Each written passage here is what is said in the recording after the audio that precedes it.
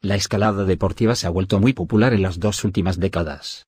En 1985, un grupo de escaladores se reunió en la localidad italiana de Bardonecchia, cerca de Turín, para participar en un evento llamado Sportroxia, que se convirtió en la primera competición organizada en la que los participantes debían escalar en un tiempo determinado. El primer evento en un muro de escalada artificial, y se organizó en un gimnasio de Vaux-en-Velin, cerca de Lyon, Francia, en 1986. En pocos años la construcción de rocódromos ha contribuido a la popularidad de la escalada deportiva, haciéndola accesible a todas las personas. Según la Federación Internacional de Escalada Deportiva, 25 millones de personas escalan con regularidad, datos de 2012.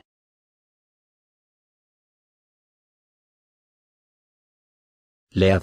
La escalada de dificultad o LEAD en inglés, consiste en superar un muro de 15 metros en un tiempo de 6 minutos, y llegar tan arriba como sea posible, resolviendo cada uno de los pasos a la vez que se progresa asegurando la caída en cada una de las cintas express colocadas a lo largo de la vía.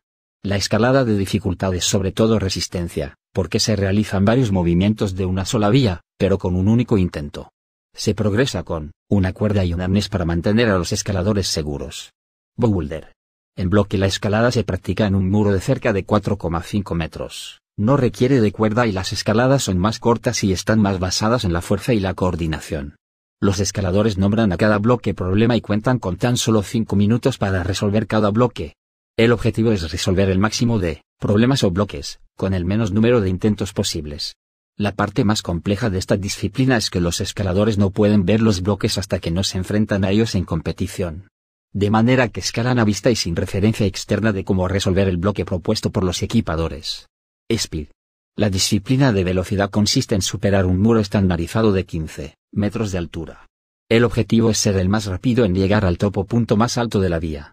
Un buen tiempo en la femenina sería entre los 6 y los 7 segundos. Una buena marca en la competición masculina está alrededor de 6 segundos, llegando a estar por debajo.